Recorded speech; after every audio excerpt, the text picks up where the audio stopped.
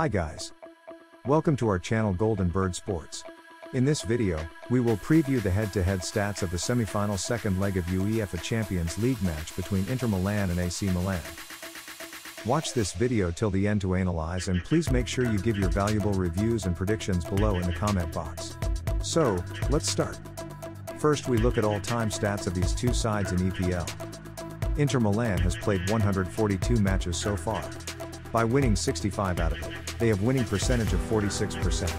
On the other side, AC Milan has 190 matches so far, and have won 80 out of it. Which makes their winning percentage of also 46%. Both sides faced each other five times so far. By winning one out of it, Inter Milan have winning rate of 20% against AC Milan. On the other side, AC Milan won a two matches out of it, they have winning percentage of 40%. AC Milan is ahead of the Inter Milan on the basis of stats so far. Inter Milan have star players like Edin Dzeko, Romelu Lukaku and Lautaro Martinez. On the other side, Olivier Giroud, Sandro Tonali and Theo Hernandez are the star players list of the AC Milan.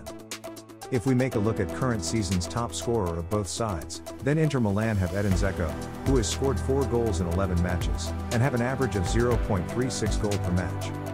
And AC Milan have Olivier Giroud, who has scored 5 goals in 11 matches with an average of 0.45 goal per match. And at goalkeeper's side, Inter Milan have Andre Onana, who have 7 clean sheets and conceded 10 goals in 11 matches and AC Milan have Mike Maignan, who have two clean sheets and conceded five goals in six matches. In last two meetings, one matches has been won by AC Milan with 3 to 0, and first leg won by Inter Milan with 2 to 0.